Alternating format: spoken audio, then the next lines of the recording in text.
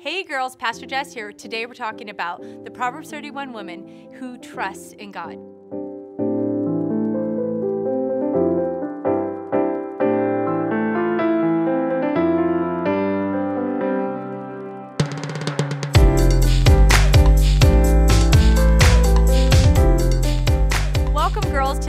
Rock Show. Pastor Jess here, and I am so excited about what God is going to speak to us today. I believe that the Lord loves us so much that He wrote a special chapter just for you and I, and it's Proverbs 31. It's so funny because Proverbs 31 has its own kind of weird feeling, and we've talked about this in the past episodes.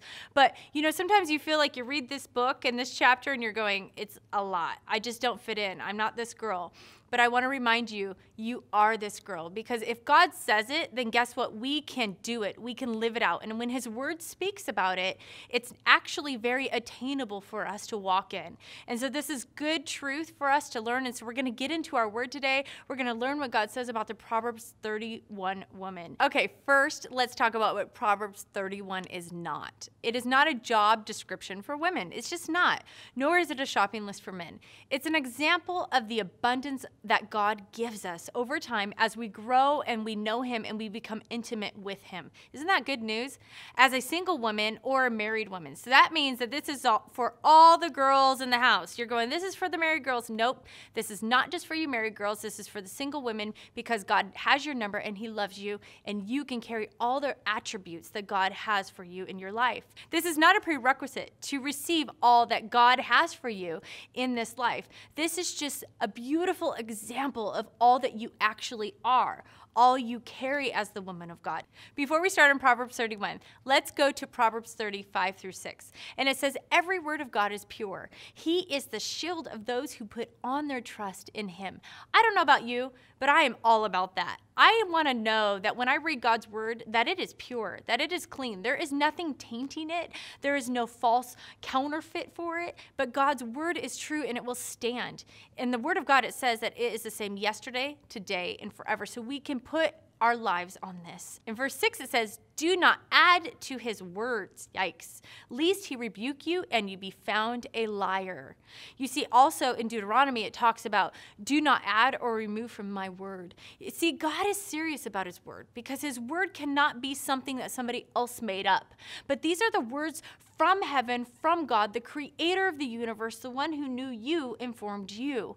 And so now that we know that God's word is true and that it's our anchor and it's something we can live by, then when we read Proverbs 31, we don't have to look at what we aren't, but we can look at who we are. And so let's go to Proverbs 31. Last time we talked about the virtuous woman, so you can go back and get that. But this time we're going to talk about the woman who trusts in God. So Proverbs 31 11, go with me there. And it says her husband can trust her. Remember, her mom is teaching Lemuel, the mother is teaching the son what to look for in a wife. It also compares Jesus as the groom and the church as the bride. And so here we go in verse 11, he says, And the husband can trust her, and she will greatly enrich his life. I don't know about you, but when I put myself in a position as a wife, I am married. We've been married almost 20 years this year. I'm so excited about what God has done in our lives, and that's a whole beautiful testimony in itself. But I know that I want my husband to trust me. I know that I need Dan that when he says something to me that he knows I'm going to follow through, he knows I'm going to carry it out. He knows that he can tell me his most intimate broken places in his life and that they will be safely guarded and trusted with me. These are important things to our marriage. It's what builds our marriage. It's what anchors our marriage. It's what um, is like a glue that binds us together. I've once heard this said, and, and I'm not quite sure who said it, but they said, when trust is lost, it's lost in buckets, and then it's it's earned back in droplets. So I never want to lose Dan's trust, but you know who else I don't want to lose trust with is God. I want God to be able to rely on me as a woman of God. I want God to go, I can ask her to do something and I know she's going to come through in it. I want God to look down on me and go, I know that she has my best interests at hand. That means that she's going to take care of people. She's going to love what I love and hate what I hate. You see, God is asking us to trust Him. God is asking us to put all that we have in Him. And so when we were talking about this last time, we talked about how in the Proverbs, every verse actually lines up with Psalms 119. And it's beautiful because these are the Hebrew alphabet. And so the second part is the second verse in Proverbs. So in Psalms 119, it coincides with Proverbs 31 11. And so it's talking about how can a young person live a clean life in verse 9. That is a good question for today. How does anybody live a clean life in this day and age that we're living in? This is a reckless world. How do we put our trust in God and God put his trust in us when everything around us is broken trust. You've had broken relationships. You don't trust friendships. You have had your life ransacked with lies that have been chaos and confusion. But I'm here to tell you today you can trust in Jesus Christ. He loves you, He's going to protect you. He is your guard and your protector. He is the one that when He says something, He actually follows through with it. Isn't that good? There's been so many prophecies that have been through the Bible, and they have all been fulfilled. And we are actually seeing some end time prophecies happening right now in front of our eyes. It's a beautiful thing. But the coolest thing about this is that God needs to trust us. So, how do I then become a trustworthy person for my maker? Well, it's so simple. You run after him. And the rest of this verse it says, I carefully read the map of my word. That means the word of God has to be what I press into every single day. I've got to get that word in me so that I can trust what it produces out of me, that will accomplish the work of God. And I will be in a single minded pursuit of who God is. You see, I'm not going to be sidetracked. When I trust God and when God trusts me, He knows that I'm not going to get sidetracked.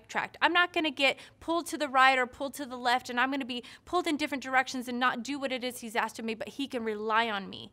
When Dan asked me to do something in our marriage, when God, when Dan asked me to um, guard something or follow through with something, He knows Jess is going to get it done, right?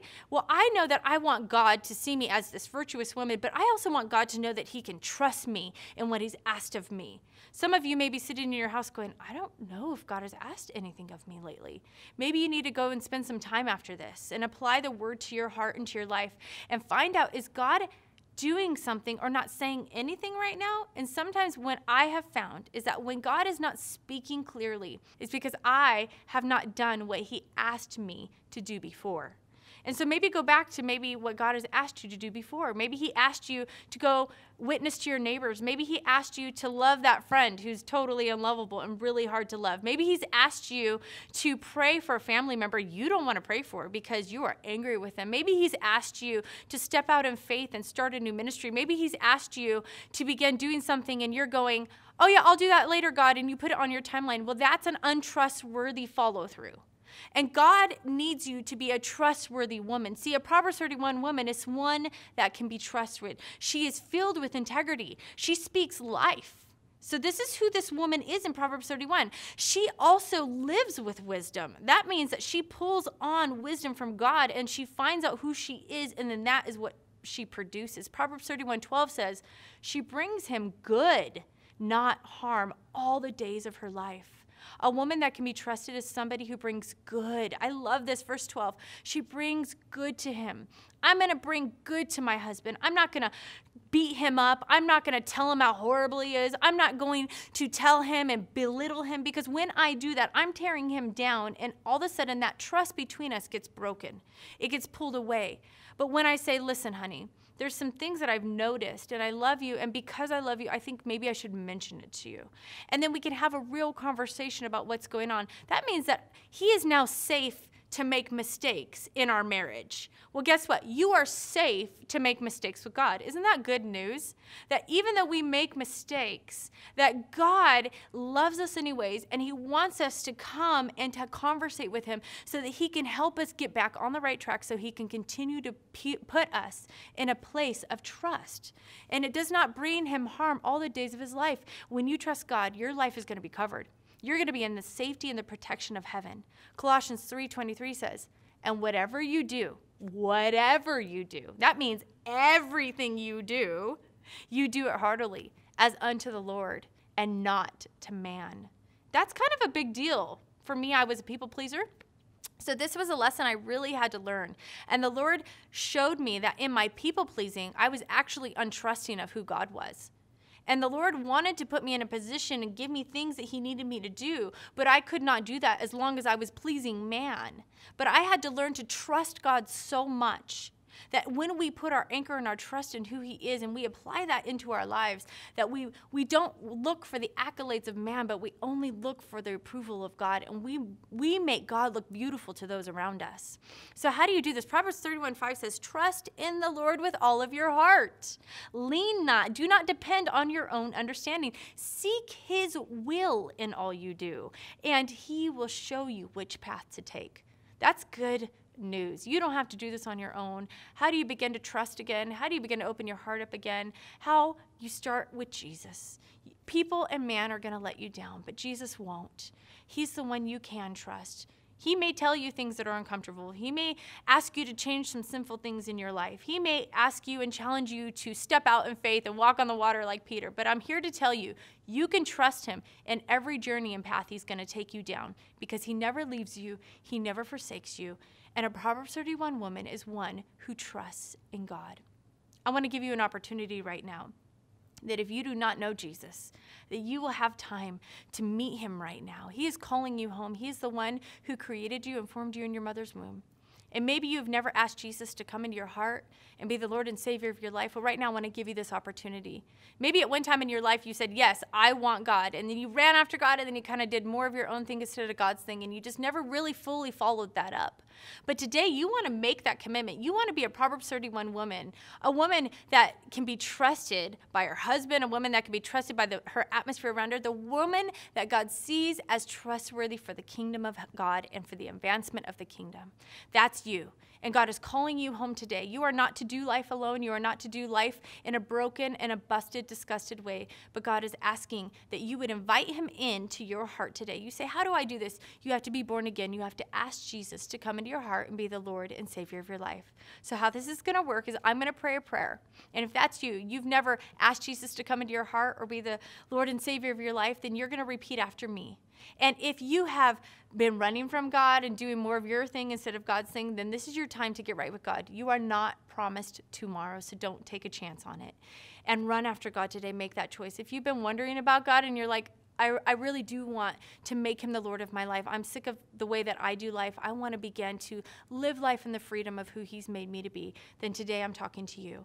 So go ahead and pray this prayer with me. Say, Dear Father God, I come before you today, a sinner in need of a Savior. I ask that you would forgive me of my sins, that you would wash me clean and make me pure as you talked about in your word. And today, Holy Spirit, I ask that you would fill me, that you would come and live within me. Teach me from your word. Show me how to live this new life. Today's the day that I become a new creation in Christ Jesus. I am now part of a new family, the kingdom of God. I leave hell behind and I'm headed for heaven. Today is a new day. Thank you, Lord, that you love me. And Lord, thank you that you have saved me. In Jesus' name, amen. If you just prayed that prayer for the first time, or if you are rededicating your life, you need to connect with a church, a local church. It's really important to be under a shepherd and under a ministry so that they can guard you and guide you and, and help you walk through this new path in life. So if you're part of the Rock Church and World Outreach Center or you're in our area, please come on out and join us. But otherwise, go ahead and connect with us on rockchurch.com and you can go on there and you can say, Get to know God. I just got to know God button. There's a button right there. If you tap it, They'll send you some information, and I'm so glad to get connected with you. Do not do life alone because doing life alone, the enemy will come after you. He will attack you, but God has a new plan for you, and you have a new family to get to know. So stay connected, get in your word, do what we talked about today, and you become a Proverbs 31 girl. I love you so much, girls. We'll see you next time.